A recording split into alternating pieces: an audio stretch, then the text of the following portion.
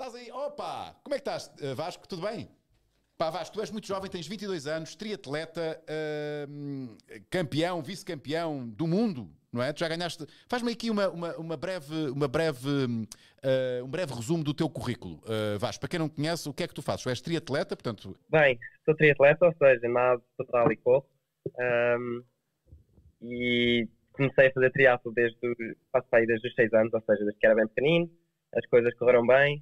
Por volta dos 18 anos comecei a focar-me mais para ser de certa forma, atleta profissional. Uh, juntei por essa altura, juntei-me também à Benfica. Uhum. Um, e pronto, os meus melhores resultados era como estava a dizer que fui, ainda como júnior, fui campeão da Europa e vice-campeão do mundo. E depois, como, como elite, uh, em 2020, fui vice-campeão do mundo. Parabéns, meu, isso já é, já é, um currículo do caraças. E tu foste agora, notícia, há coisa de, que é uma semana, para aí? Aqui diz 5 uh, dias. Ah, foi há 5 dias, nem sequer fez uma semana. Uh, com esta notícia, uh, uh, triatleta olímpico Vasco Vilaça mordido por foca na Califórnia, ainda por cima há imagens disto.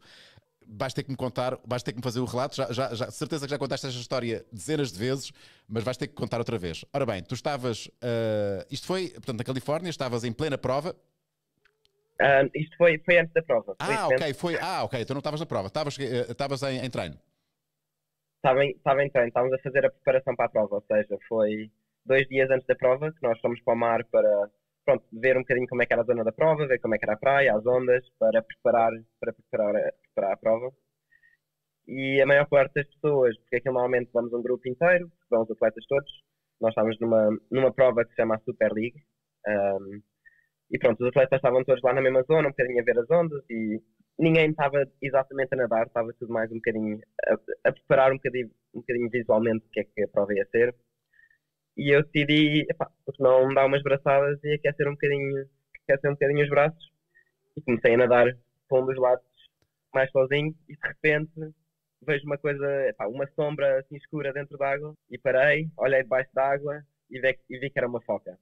Eu, ok, epá, é, é pior que uma pessoa, mas é melhor que um tubarão. Sim, sim, bem visto, bem visto. E a foca, tava, um, a foca já estava. Olhaste nos olhos da foca, a foca olhou-te mesmo ou não? Olhou-me mesmo nos olhos, sim, sim, sim. Eu ainda tive ali uns bons minutos com, com a foca a socializar. E ela começou a nadar até mim, ou seja, ela viu-me e depois veio nadar até mim e começou-me assim, com o focinho mesmo muito perto, começou-me quase como um cão assim. Tipo a, a cheirar, não é? Tipo, quase a cheirar, não é? Yeah. Exato, exato. E estavas tranquilo nessa altura? E nessa altura tu estavas tranquilo porque estavas uh, com medo ou estavas naquela? Uh, é melhor não mexer muito ou estavas já a curtir? Olha a foca, olha tão fixe, vou brincar com a foca. Estava com um bocadinho de medo, mas acho que não estava não estava muito assustado. Estava tipo, é pá, ok, mas acho que não me vai fazer mal, mas uma coisa é também quando, quando está na água, está-se num ambiente um bocadinho fora de controle, ou seja, acontece qualquer coisa e estou ali, quer dizer, não, não é que consiga nadar a fugir da foca. Sim, né? apesar de já teres anos de, de, de prática uh, na, na, na, água, não é o teu meio natural, né? A foca é que está no seu meio natural, ela é que está em casa, tu és o visitante. Então quando é que, quando é que o ataque aconteceu? Foi, foi, ela avisou-te primeiro, tipo, deu-te deu a dica que, que, que, ia morder ou foi assim do nada? Uh, foi um bocadinho nada, foi porque ela, pronto, como eu disse, ela vem muito perto e estava mesmo em cima de mim e eh, pronto, era, era um bocadinho assustador ter a, a cara e a cabeça toda dela e a boca estão em cima de mim, então eu comecei um bocadinho tipo quase a dar-lhe uma festinha no focinho, mas a afastá-la, a afastar a, a, boca dela para um bocadinho mais longe de mim. E ao mesmo tempo que eu faço isso, bate-nos uma onda e a manda com, com mais força para cima de mim mesmo. E eu aí tive que a afastar. E quando, pronto, quando essa onda nos bate, ela assusta-se e é aí que morde o braço. Ok. Então foi um ataque quase de. Não foi bem um ataque, foi mais um ato de, de, de, de flexo dela, não é? Ela, ela, ela quase defesa, não é? Ela assustou-se e, e, como reação, mordeu. Será isso? Exato. Ah, exato, exato. Ou seja, diria que é mais isso. Ou seja, estava, pronto, estava ali numa situação, se calhar estava a tentar perceber o que é que eu era e depois assustou-se. E claro que a primeira reação é, pronto, é, é atacar. E foi aí que mordeu o braço. Ela mordeu e, e não largou? Mordeu não largou.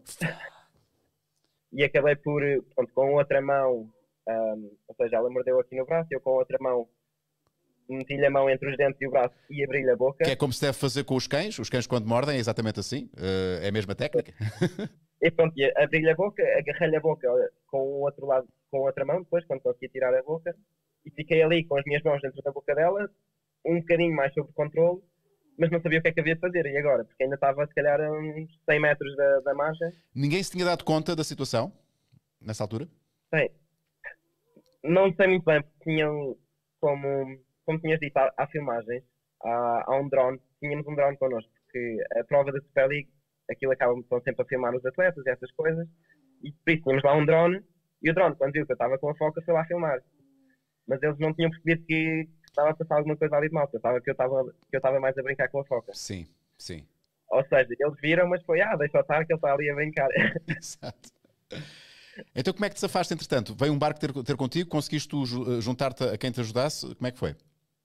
Não, não, ou seja, estava, estava sozinho, um, como eu disse, tinha as minhas mãos dentro da boca da foca, abri-lhe a, abri a boca para ela não, não conseguir morder mais, uh, e depois foi devagarinho, fui só com as pernas, um bocadinho assim a bruços, ou seja, a dar às pernas, para, enquanto a agarrava, conseguir ir até onde tinha pé, para conseguir depois sair a correr. Mas ainda foram uns belos dois minutos ali com a foca em cima de mim, a agarrar-lhe a boca até conseguir chegar. Eu imagino a adrenalina que deve ter corrido o teu corpo. Porque tu não sabias até que ponto yeah, é que ela se passava outra vez e ia-te morder, não é? E se ela quisesse, tu sentiste claramente que se ela quisesse fazer mal, eh, tu estavas lixado, não é? Porque é um animal com, com muita força, não é? É pá, sem dúvida. Sem dúvida. Dizem, ou seja, depois de falar com algumas pessoas locais lá, que tive muito azar num lado que as focas normalmente não atacam pessoas, mas muita sorte num lado que normalmente quando atacam de, deixam as pessoas bastante maltratadas. Yeah. Pouca, e, gente, pouca gente para contar a história uh, bem, não é? Uh... Epá, é raro matarem, mas epá, é, é, é, bastante grave. Ou seja, com, com os dentes e com a força que têm, e sendo um meio em que nós não temos controle nenhum, ficamos ali pronto, feitos paros no meio da água, yeah. sem fazer nada. Yeah. Vasco, mas eu tive muita Tiveste muita sorte no meio deste azar, tiveste muita sorte. Uh, tive muita sorte porque uma das coisas que me disseram foi quando eu lhe agarrei na boca, eu virei a barriga para cima, quando estava a nadar para, até à margem. E pelos vistos, tanto como os tubarões como nas focas, quando se viram de barriga para cima, entram num estado assim meio de. Letargia, um... não é? Letárgico, ficam assim meio, meio a dormir, não é? Exato, exato. E foi por causa disso que eu consegui nadar com ela até, até à praia. Uau, tu tiveste mesmo muita sorte, meu, muita sorte. O teu instinto disse para pôr, para, pôr, para pôr a foca de barriga para cima e ela, e ela, e ela amansou. Vasco.